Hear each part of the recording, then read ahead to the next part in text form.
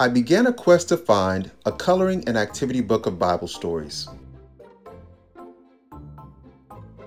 However, the challenge I want to know if any actually feature any black or brown characters to show diversity. Simple enough, right?